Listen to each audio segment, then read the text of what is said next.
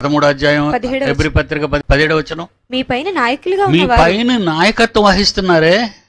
వాళ్ళు లెక్క వారి వల్లే. చెప్పాలి దేవునికి. చాలా శిక్షలోకి పోతారా మీరంతా. రాజు అవడం అంటే చిన్న మాట కాదు దేశాన్ని పాలించాలి. ఎన్నో అల్లర్లు ఎన్నో గొడవలు ఎన్నో పేదరికాలు ఎన్నో దోపిడీలు దేశంలో జరుగుతుంటాయి. వాటన్నిటినీ అధికారంలో ఉన్నవారు పర్యవేక్షించాలి. ప్రసంగి గ్రంథం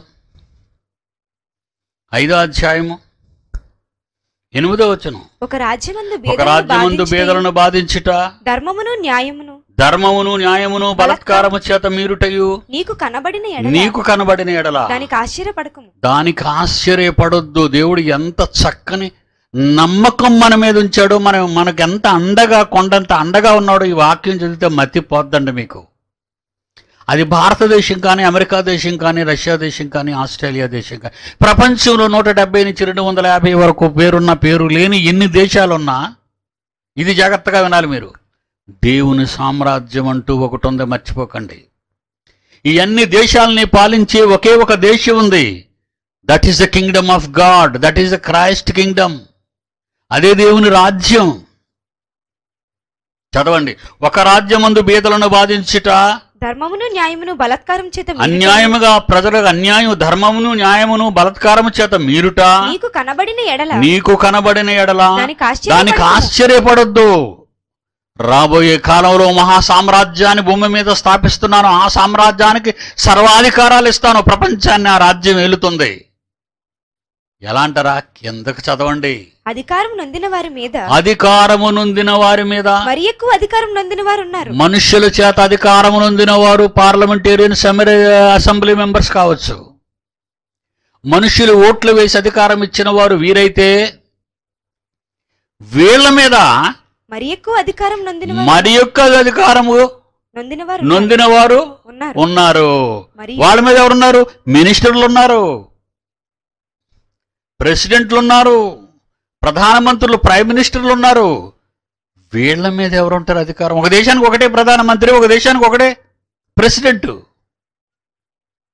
అధికారం ఇచ్చిన వారు ముందు అధికారం పొందినవారు ప్రజల చేత ఓట్లలో వచ్చి ఎమ్మెల్యేలు ఎంపీలుగా ఎన్నికైన వారు ఎమ్మెల్యే ఎంపీలుగా ఎన్నికైన వారి మీద వాళ్ళలో నుంచి ఎన్నుకోబడిన మినిస్టర్స్ అఫీషియల్స్ సర్వాధికారులు ఒక పోలీస్ అంతటికి రాష్ట్రానికి ఒక డీజీపీ ఉంటాడు. ఒక రాష్ట్రానికి అంత ఒక సీఎం ఉంటాడు.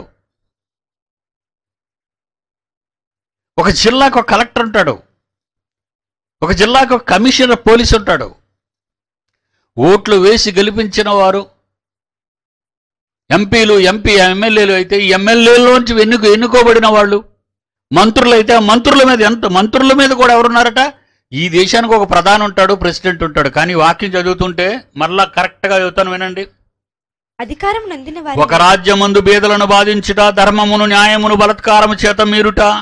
నీకు కనబడిన ఎలా బీయింగ్ యువర్ క్రిస్టియన్ నువ్వు నిజంగా క్రైస్తవుడు అయితే దేవుని మహాజ్ఞానానికి వారసుడు అయితే నీకు కనబడిన ఎడల. మనం అప్పుడప్పుడు ఇంత అన్యాయమా? అని వాపోతాం.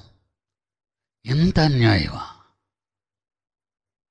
బళ్ళారిలో ఉన్న మాంగనీస గనులన్నీ కొట్టేసి చైనా వాళ్ళకి అమ్మేసుకొని కోటాను కోట్ల రూపాయలు విదేశీ బ్యాంకుల్లో దాచుకున్న దొంగలున్న భారతదేశంలో కొంతమంది చరిత్ర న్యూస్లో మనం వింటుంటే ఇంత దోపిడియా? ఎవడు బాబు సంపాదించాడు ఆ గనులన్నీ? ఎవడు అబ్బసొమ్మో గనులన్నీ? వేలక వేలు ఎకరాలు ఎవడబ్బసొమ్మో? మీ తాత మీ మొత్తాత ఎవడు సంపాదించాడు? దేవుడు చేసినది. అది నీ ఒక్కడికి ఇవ్వడు దేవుడు. ప్రపంచంలో ఉన్న ఏడు వందల అరవై ఆరు కోట్ల మంది పంచుకోవాల ప్రపంచ గనుల సంపద. వీళ్ళందరూ దోచేసుకుంటుంటే అమాయకులమైన మనం ఏమనుకుంటాం అంటే ఎంత అన్యాయమా ఏమంటే ఎక్కడ బటన్ నొక్కినా ఆ బీజేపీ దగ్గర వెలిగిపోతుందని న్యూస్లో చూసాం కమలం దగ్గరే లైట్ వెలుగుతుందని మనకు తెలిసిపోయింది. ఏమంటే అది ఎంత టాప్ సీక్రెట్గా చేశారో ప్రపంచానికి బహిర్గతం అయిపోయింది. ఎక్కడ నొక్కినా అక్కడ. ఆ తామర దగ్గర వస్తుంది లైట్. ఎంత అన్యాయమా? నీతో ఎందుకు చెప్తున్నాడో తెలుసా? అది ఈ అన్యాయాలు చేయటానికి అధికారములుందిన వారి మీద మరి ఎక్కువ అధికారము నొందిన వారు ఉన్నారు. మరియు మరి అధికారం ఎక్కువ మరి అధికారము ఎక్కువ ఉందిన వారికి పైగా ఉన్నారు అంటే మనం అన్నమాట బాగా గమనించండి ఆ వాక్యం ఏముందో. అందరికంటే పైగా ఉన్నవాళ్ళు క్రిస్టియన్స్. క్రైస్తవ్యం. యూనివర్సల్ నిబంధన అది. యూనివర్సల్ చట్టం. యూనివర్సల్ రాజ్యాంగం. Bible democracy. యశక్రీస్తు king of universe. చరిత్రలో ఏ ఏ- ఏ చక్రవర్తి కూడా చరిత్ర పురుషుడు కాలేకపోయాడు. Maybe a Nebuchadnezzar maybe a Nebuchadnezzar maybe a పా మాది ఏ పారసిక సామ్రాజ్య చక్రవర్తి. Maybe a Alexander the great. Maybe the Roman empirism. Maybe the George చక్రవర్తులు ప్రపంచాన్ని పాలించారు ఇంగ్లాండ్ వాళ్ళు. వీళ్ళందరికీ మించిన ఒకే ఒక చక్రవర్తి వస్తాడు ఆయనే క్రైస్ట్ జీజస్ ఆయన స్థాపించిందే సంఘం యూనివర్సల్ కింగ్డమ్. అందులో ఉన్న వాళ్ళు గురించి మాట్లాడుతున్నాడు. ఇప్పుడు వినండి. ఒక రాజ్యం ముందు వేదులను బాధించుట ధర్మమును న్యాయమును బలత్కారము చేత మీరుట నీకు కనబడిన ఎడల దానికి ఆశ్చర్యపడొద్దు. నేను ఎందుకు దేనికి ఆశ్చర్యపడినండి? సునమ వచ్చిందా? చంపేసా? దరిద్ర పొంది పోనివ్వండి అంటాను. పాపాలు చేసేటప్పుడు నీకు అనిపించలేదా? అయ్యో ఇది పాపం అని చూసి ఆపలేవా? నేరం గొప్పవాడు చేస్తే డబ్బు ఎవడ పక్క ఉందో ఆడి పక్క న్యాయం చెబుతావా నువ్వు? మీకా ఏడో అధ్యాయం? మూడో వచనంలో కూడా దేవుడు యూనివర్సల్ రాజ్యాంగంలో ఏమని రాసిందో చూడండి కాన్స్టిట్యూషన్లో our international constitution or universal constitution entire యూనివర్స్కి ఒకే ఒక కాన్స్టిట్యూషన్ ఉంది. దట్ ఈస్ ద బైబిల్ మీక ఏడు మూడు? రెండు చేతులతోనూ కీడి రెండు చేతులతో కీడు చేయ పూనుకొందురు. అందరూ రౌడీలు అందరూ షీటర్లు అందరూ మర్డరర్స్ అందరూ రేపిస్టులు అందరూ దోపిడి దొంగలు. రెండు చేతులతో కీడు చేయ ఒకప్పుడు అది ఏటరా నువ్వు రెండు చేతులు సంపాదిస్తున్నావు అంటారు. అది మంచి మాట కాదు. దోపిడి దొంగకు వాడే పదం అది. రెండు చేతులతో కీడు కీడు చేయ పూనుకొందురు. అధిపతులు బహుమానము కోరుదురు. అది అధిపతులు బహుమానం. ఆ, ఏం తెచ్చావేంటి ఆ, ఏం తెచ్చావు? ఏం తెచ్చావు? సూట్ కేసులు ఎంత ఉంది? రెండు కోట్లు పది కోట్లు. అధిపతులు బహుమానము కోరు బహుమానము కోరుకొందురు. న్యాయాధిపతులు లంచము పుచ్చుకుందరు. ఈ అది బహుమానం లంచం తీసుకున్నాడు లేదా బహుమానం తీసేసుకున్నాడు. ఈ మంత్రి గారు ఇంత డబ్బు కొట్టేశారని కోర్టులో ఇగానే న్యాయము న్యాయాధిపతులు లంచము పుచ్చుకొందురు. బైబిల్ అండి ఇది నా మాట చెప్పడం లేదు. ప్రపంచంలో ఏ న్యాయాధిపతి గురించి నేను మాట్లాడటం లేదు. Is also a man president of India అయినా భారత ప్రధాని అయినా అమెరికా ప్రెసిడెంట్ అయినా ప్రపంచంలో ఏ న్యాయాధిపతి అయినా ప్రపంచంలో ప్రజలను పాలించే నాయకులు అధికారులు లంచం తీసుకుంటున్నారు దోచుకుంటున్నారు బహుమానాలు ఆశిస్తున్నారు. బహుమానం అంటే ఆ నువ్వు ఆ సెంటర్లో కట్టిన కాంప్లెక్స్ బిల్డింగ్ ఎంత ఖరీదు ఉంటుంది అయ్యా? సెంటర్లో ఉన్నది? సార్ ఉంటుంది సార్ ఇరవై కోట్లు. నా భార్య పేరు మీద రాసి అంటాడు. ఇరవై కోట్లతో ఒక మల్టీ స్టార్ ప్యాకేజ్తో ఒక పెద్ద భవనాన్ని నిర్మిస్తే అంత పెద్దది ఎలాగయ్యా? నేను కోటి రూపాయలు ఇచ్చుకోగలను అన్నాడు అనుకోండి ఒకవేళ. ఈడేం చచ్చిపోతాడు? ఆడు కుటుంబంలో కొడుకన్నా చచ్చిపోతాడు. రెండు చేతులతో కీడు చేయ పూనుకొందురు. అధిపతులు బహుమానం పొందుదురు కోరుదురు. న్యాయాధిపతులు ఆమ్యాం తీసుకొందురు.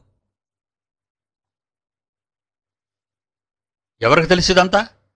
యూనివర్సల్ కింగ్డమ్ అందుకే క్రైస్తవులారా అందరూ కాదు దేవుని జ్ఞానాన్ని కలిగిన వారులారా దేవుని జ్ఞానానికి అనుసంధానమైన వారులారా దేవునితో కలిసి జీవించిన వారులారా దేవుని జ్ఞాపకాలలో ఉన్నవారులారా వాళ్ళకి దేవుడు ఇస్తున్న అభయం ఏంటో తెలుసా?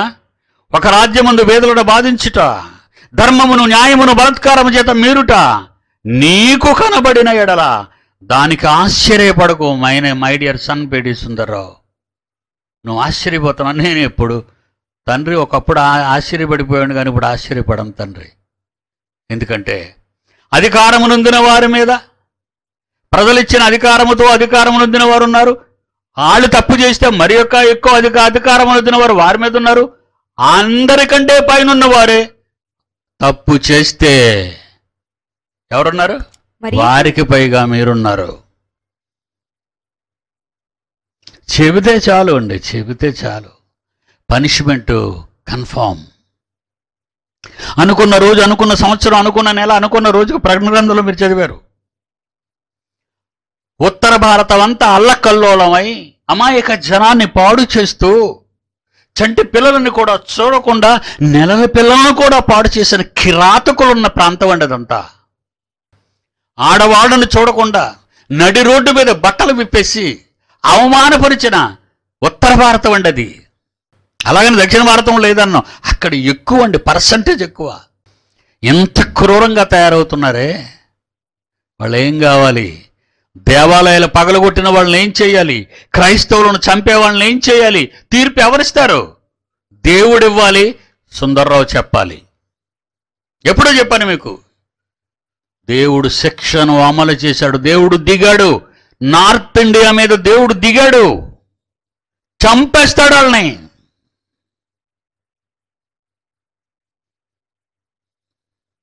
భయమా? దేనికి భయం?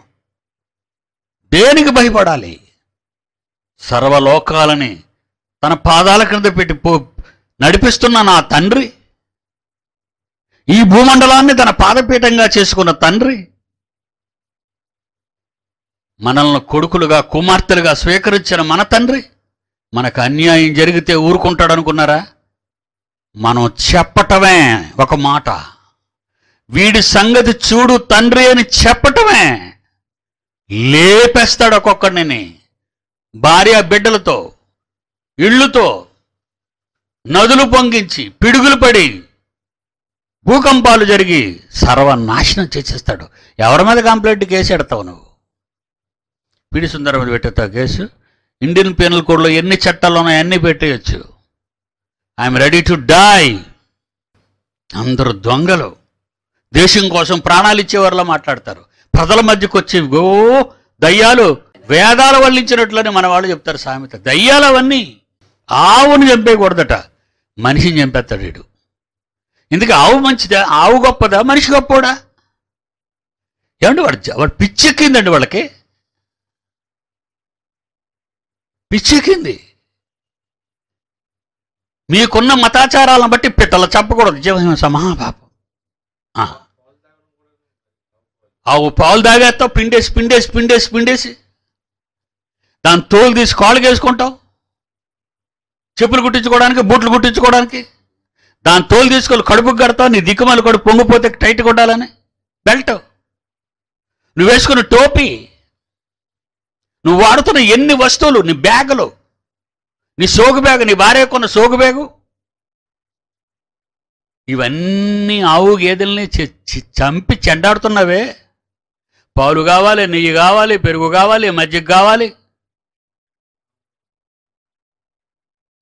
అవును చెప్పకూడదా మరి చంపకుండా ఇవన్నీ నీ దగ్గరికి ఎలాగ వస్తున్నాయి? అంటే నీకు అసలు ప్రాథమిక పాఠశాల జ్ఞానమైన ఉందా? జీవహింస మహాపాపం. ఓకే. ఎన్ని కోళ్ళు తినేస్తున్నావు? ఎన్ని మేకలు తినేస్తున్నావు? ఎన్ని గొర్రెలు తినేస్తున్నావు? ఎన్ని మొక్కలు తినేస్తున్నావు? జీవన్నాయి మొక్కలు కూడా జీవం ఉంది? తోటకూర అంటావు పాలకూర అంటావు గోంగూర అంటావు బచ్చర కూర అంటావు గడిదిగుడ్డు కూర అంటావు వంకాయ అంటావు బెండకాయ అంటావు దొండకాయ అంటావు ఇవన్నీ ప్రాణాలతో లేచినవి. వాటిని ఎందుకు చంపేస్తున్నావు? అది జీవహింస కాదా? నో జనరల్ నాలెడ్జ్ దేశం కోసం ప్రజల క్షేమం గురించి మాట్లాడితే వాళ్ళంతా ఉగ్రవాదులు అనుకుంటున్నావా? వాళ్ళంతా నక్సలైట్లు అనుకుంటున్నావా? వాళ్ళంతా మరేదో అనుకుంటున్నావా? దేవుని తరఫున దేవుని సామ్రాజ్యపు అధికారాన్ని బట్టి మాట్లాడుతున్నాం. Beware of God not me భయపడు దేవుడికి చంపేస్తాడు నిన్ను. నిన్ను నీ నియోజకవర్గాన్ని లేపేస్తాడు. తప్పు మాట్లాడితే తప్పు పాలన చేస్తే. దొంగ ఓట్లతో కోట్ల లంచాలతో నూట యాభై కోట్లు ఇచ్చేస్తావు ఒక ఎమ్మెల్యేని కొనియడానికి.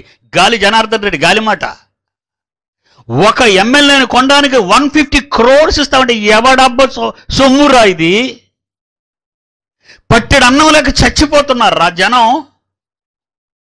ఒక ఎమ్మెల్యేకి నూట యాభై కోట్లు ఇస్తానంటే వంద మంది ఎమ్మెల్యేలకి ఎన్ని వందల కోట్లు ఇస్తావురా ఎన్ని వందల కోట్లు వేల కోట్లు నొక్కేసావురా ప్రజాధనాన్ని? పస్తులతో చంపుతున్నారు రా ప్రజల్ని? మతాల గొడవ దేవుళ్ళు గొడవ కులాల గొడవ. కళ్ళు మూసుకుందండి భారతదేశం కళ్ళు మూసుకుంది. ఎక్కడున్నారు విప్లవకారులు? ఎక్కడున్నారు అభ్యుదయవాదులు? ఎక్కడున్నారంటే ఇంటలెక్చువల్స్ కాలర్ వేసుకొని టీవీ స్టూడియోలో కూర్చుకొని చెత్త మాటలు మాట్లాడడానికి కాదు నిలదీసి ఏం చేస్తున్నావు నువ్వు? ప్రతివాడు నాయకుడే. కులాల పేరట రాజకీయాలు. ఎవడైనా అధికారం రావాలంటే వాళ్ళ కులం ఉండాలి. కులమా? నువ్వు నమ్ముకున్న దేవుడు ఏ కులం? ఏ కులం? కులం లేని దేవుడికి కులాన్ని అంటగట్టి ఆ కులాన్ని మళ్ళా నువ్వు పెట్టుకొని జనాన్ని నీ కాళ్ళ కింద పెట్టుకోవడానికి కులమత భేదాలు చూపిస్తున్నావే. ఎవడు రా రాశాడు ఈ రాజనీతి? అడిగేవాడు ఎవడు రా ఈ భారతదేశంలో? అడిగిన వాడు మంచోడు కాదా? నేరస్తుడా? అడిగిన వాళ్ళందరినీ చంపేశారు. అందులో ఒక మహాత్మా గాంధీ ఉన్నాడు. అందులో ఒక భగత్ సింగ్ ఉన్నాడు. అందులో ఒక అంబేద్కర్ ఉన్నాడు. మహనీయులు ఎవరు చంపేశారు? మీరే చంపేశారు. మీరే చంపేశారు. బ్రతకనివ్వరు. బ్రతకనివ్వరని ఒకనాటి పాత మాట అది నీకు. బ్రతకవు. నేను చెప్పే కొత్త మాట మీరు మర్చిపోకండి. బ్రతకరు.